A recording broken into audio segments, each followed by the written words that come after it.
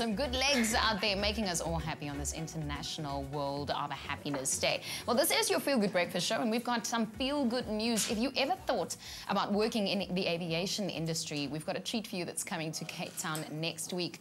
Now, low cost airline Mango will be hosting its eighth National Career Day at Ned Doman High School, and that's in Athlone. So, Wednesday and Thursday next week, that's the 26th and the 27th of March. So, come and get a glimpse of the technical or cabin crew, and also pilot training academies, engineering and technical tertiary institutions. It's exciting stuff. Don't miss out and also make sure that you make a note in your calendar. Of course, details always on our Expresso Show Facebook page. Loads happening after the break. We're keeping it happy and also making sure that we go to the kitchen this morning. This is your Feel Good Breakfast Show. We'll be back after the break.